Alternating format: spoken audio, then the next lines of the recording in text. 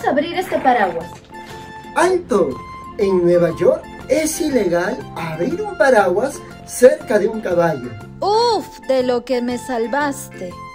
Hipócrates se traduce como maestro de caballos y a Leonardo da Vinci le gustaba dibujar caballos.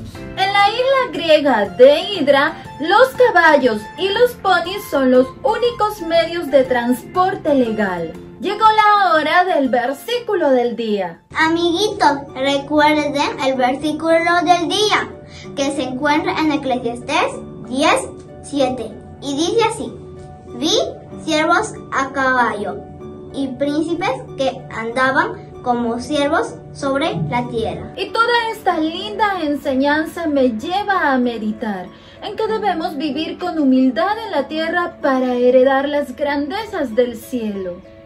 Jesús, tómalo lleno de mi vida. Nos vemos.